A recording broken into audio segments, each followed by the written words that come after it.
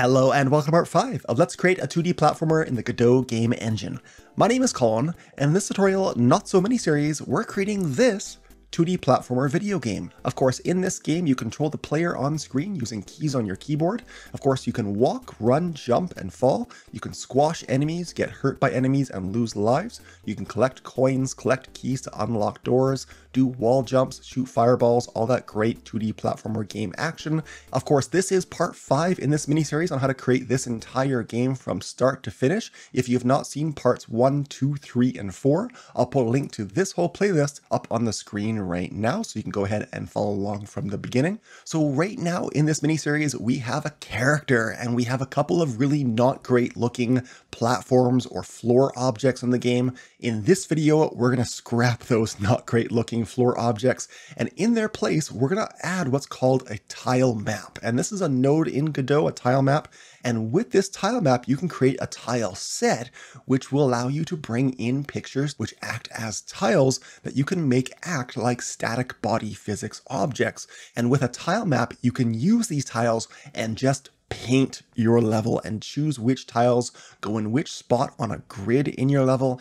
And so it's really fast and really fun to create a whole large world that just looks great. This is really the most creative part of this whole tutorial mini-series, excluding all the code we're writing to make our game as well. In fact, making a tile map like this requires absolutely no code whatsoever. So no code in this video today, okay? Let's go ahead and jump in. Of course, if you like this video or if you learned something in it, please go ahead and click on that like button below this video. It really helps out me and my channel. And if you want to see more videos like this one in Godot or Blender or other technology, click on that subscribe button as well and click the bell icon to be notified whenever I upload a new tutorial. So first things first, let's get rid of these not great looking platforms. They are called floor one and floor two. I'll select each one, right click on it, say delete node. When I do that, it'll make sure that I actually want to get rid of that whole uh, branch of nodes and I'll press OK because each floor is made up of several nodes. Okay, so right click and delete and OK in their place, we're going to add a tile map to our level one. So I'm going to select level one and I'll press plus. And from our available nodes, I'm going to search for tile. And here it is, it's blue, it's called tile map. If you want to know where this is actually located, if I clear my search under node 2D, it's just right there. Okay, so I'll select that and press create. And because I had the level one node selected, when I added it, it's now a child of level one. As you can see, if I have this new tile map node selected, I get a orange grid on my screen in my level if I'm in the 2D workspace. These orange squares, this orange grid, shows me where my tiles can be placed. If I don't like the size of these tiles, if I want to change it, that is with the tile map selected over here in the inspector, the properties of that tile map under cell. The default size is 64 by 64 pixels per tile. This will depend on the size of the images that you use for your tile set. Speaking of which, I'm going to be giving you a link to download this folder of tile images. These are created by Kenney at www.kenney.nl. Kenney, if you're not aware, is an amazing resource. He's a creator who makes a ton of game assets. That means sprites, vector art, 3D models, sounds, music, everything you need to make a simple starter game. He gives away lots of his assets for free, but he also sells them in packs. And when you download, I think, any of his assets, you're allowed to use them in your projects, including for profit projects, because all of his art, as far as I'm aware, is royalty free Creative Commons zero public domain. So that's why I'm able to give these away to you in the link below this video on YouTube. So I'm going to take take this folder called World Tiles. You'll get it in a zip file from the download link below this video on YouTube. You'll need to unzip it, and then I'm going to right click and copy this whole folder. I'm going to go into my game project folder. I've got an assets folder. I'll go in there and I'll right click and paste. So now I've got all of those PNG images in my project folder. Just so you are aware, if I right click and go to the properties in Windows for any of these pictures, most of them anyways, they are for the most part, if I go to details, 64 by 64 pixels. Lots of the tiles that Kenney makes and publishes are 70 by 70 pixels. And so if you have a different size that's not 64 by 64 for all of your tiles, you'll need to change a setting. I'll show you it in a sec. But if you decide to make your own tiles, you need to make sure that they are seamless together. And that's quite a tricky thing to do because if you start with a larger picture file, let's say in Photoshop or GIMP, and you scale the picture down, depending on your settings, you might get like a transparent or blurred row of pixels on the sides, depending on your original resolution and what scaling you're doing. Okay, so just keep that in mind. These ones fit very perfectly well together. So you might want to start off with these ones. Okay, so back into the Godot editor. If you don't have, and by the way, you saw hopefully just there in a blink of an eye, it imported all of those pictures that I put into my project folder. So now I've got all these world tile images over here. If your tiles are not 64 by 64, you'll need to change this cell size over here. But now we need to make a tile set for our tile map. This is essentially going to be our palette, our available tiles that we can use to draw or paint our whole level. To create a tile set, I've got to select my tile map node, and then over in the right inspector, uh, next to tile set, I'm going to click on the little down arrow and I'll select new tile set. I've got a new tile set resource now in Godot. If I want to edit it, I'm going to click on its name and a tile set dock will appear on the bottom of the editor. It's very much like that animation editor for the animation sprite that we edited in the last video for our character animations and poses. We've got a sidebar and a main kind of working area. In this sidebar, we need to bring in the images that we're going to use to create tiles for our tile map. So I'm going to press this little plus button and I'm going to go into, if I'm not, into my project assets folder, into my world tiles folder. I'm going to select all of the pictures. So I'll click on the first tile image, I'll hold shift and I'll click on the last one to select them all and I'll press open.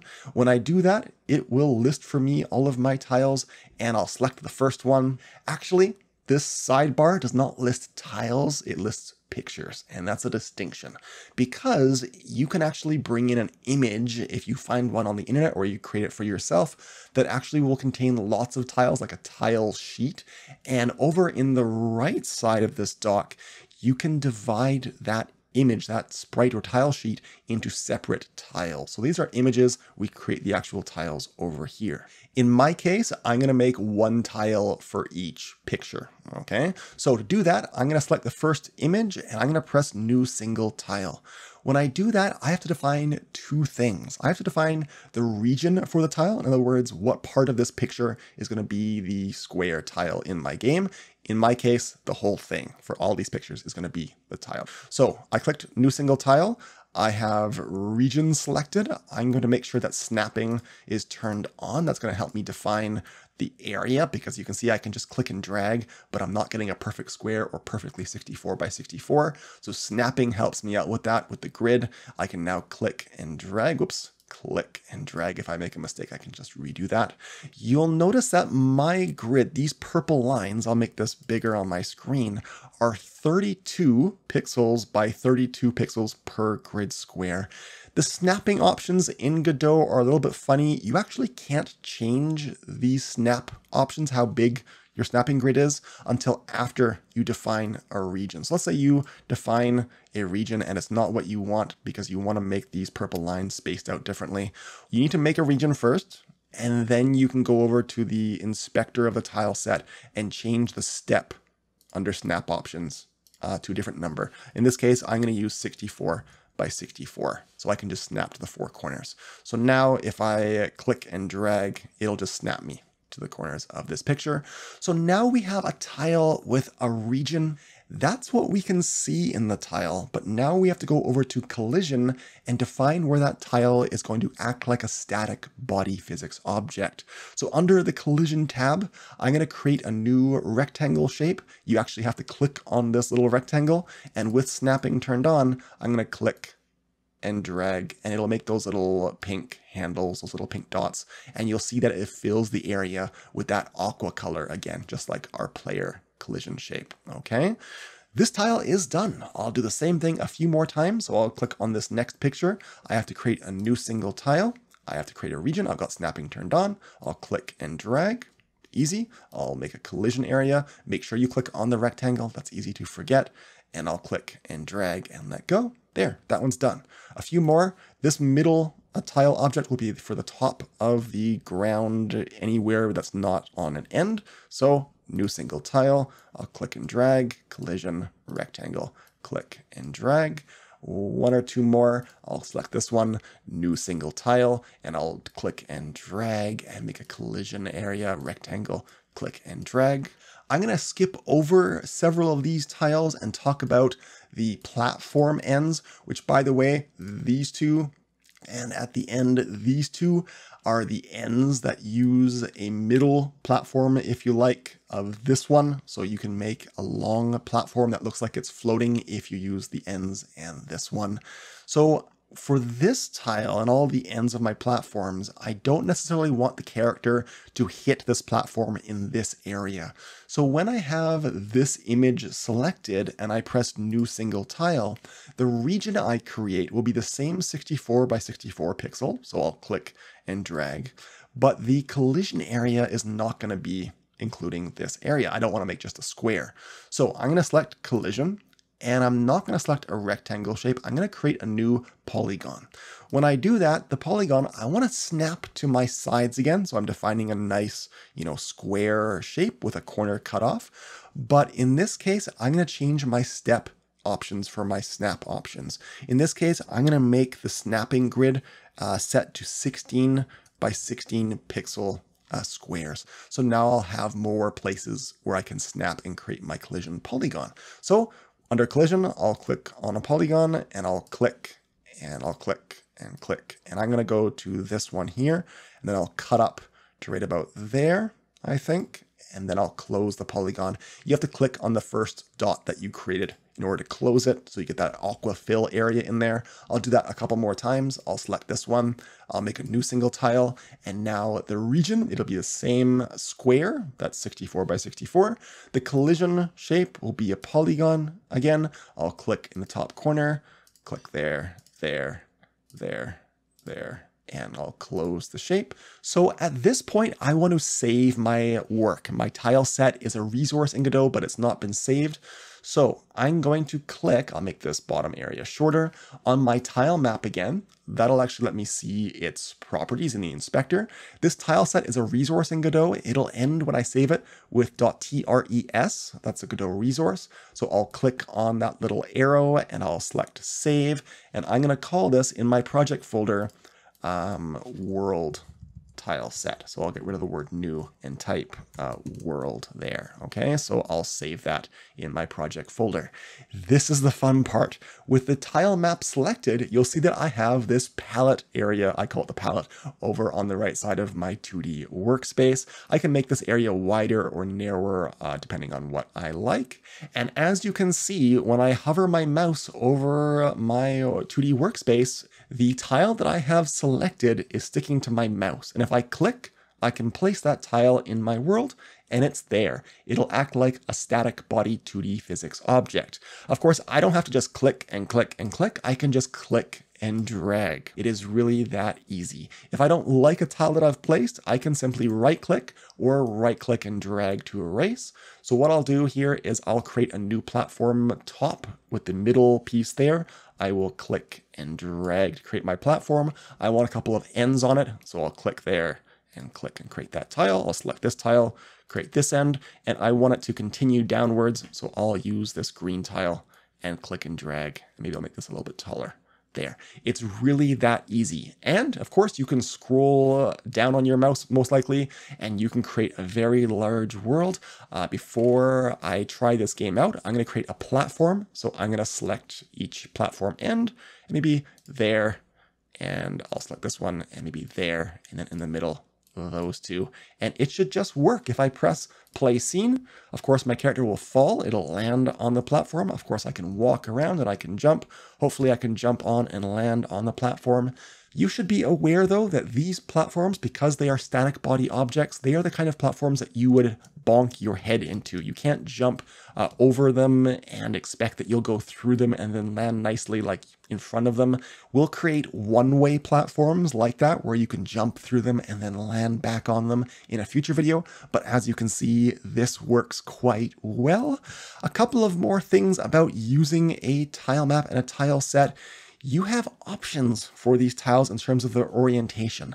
Up on the top of this palette area, you have options to rotate all of your tiles and you can flip them around horizontally or even vertically. So if I want to create a sideways wall in my game, I can rotate or flip. In fact, this last button that looks like a paintbrush will clear anything that you've done with the rotating or flipping. So now they're at their default. If I want to create a sideways wall, well, I can just rotate all of these tiles around, that I can paint, well, a sideways wall if I like, and I'll put a couple of ends on them as well, just like that. So now if I go ahead and play this scene, I will bump into that sideways platform, just like a wall. Two more quick things as we finish off this video. You'll notice that my little character is going behind this wall. In other words, my character's a collision shape his little pill shape doesn't include his arms, so his arms actually go behind the platforms or this wall. So to fix the order of our character, if we want the character to be in front of the tiles, well, what we can do is we can change the order of our nodes in our scene dock. Right now, our Steve object is at the top in our level and the tile map is next. But the way Godot draws things in your scene is it draws the objects in order from top to bottom. In other words, it'll draw Steve into your game and then it'll draw the tile map, meaning that the tile map will be in front of Steve. So what I can do is I can just drag Steve down to below the tile map. Make sure you're not dragging it onto the tile map, but just below. And now their order is switched around. So now if I play my scene and go back over to that wall, well, See how my little character's arm is in front of the wall? That's what I want. The very last thing I'll show you in this video is if you do not like the size of your grid. In other words, you think that these tiles are too big or too small, and you don't want to go through the hassle of changing the size of all of these sprite files on your computer, which really wouldn't work out well anyways, what you can do is you can scale your entire tile map, your entire grid. To do that, you would select your tile map node, and then in the inspector under the transform section, you can change the entire tile map's scale here. So if I change this to 0.5 and 0.5, well, all the tiles will now be half as wide and half as tall. That means they'll be 32 by 32, and it will just work. If I move my character up to, let's say, there, he's now in miniature world, and I can press the play scene button, and he'll fall and land and fall and land. Uh, obviously, this is too small for the character, but that's how you could do it. So I'm going to go ahead and change it back to the tile map to 1 and 1, okay? You can also, in this transform area, change the position of your tiles. If you want to nudge them around a bit, you can change these X and Y values. So if I want to move my tiles over by 32 each, that's how I would do it, but I'm going to leave them alone, okay? So that will be it for this video. Go ahead and create a large world for your game going off the sides of your screens because in the next video, I'll be showing you how to create a camera that follows you nicely around your level, including bounds or limits for that camera so your camera can't follow you if you fall into the abyss. But that will be it for this video. Thanks for watching. Of course, if you like this video or if you learned something in it, please go ahead and click that like button below this video. It really helps out me and my channel. And if you want to see more videos like this one in Godot or Blender or other technology, click on that subscribe button as well and click the bell icon to be notified whenever I upload a new tutorial. Check out my Facebook page and my Instagram page. In those two places, I post sneak peeks and previews of what I'm working on next. And that's where I interact with you guys the most. But that'll be it for this one. Thanks for watching. Bye-bye.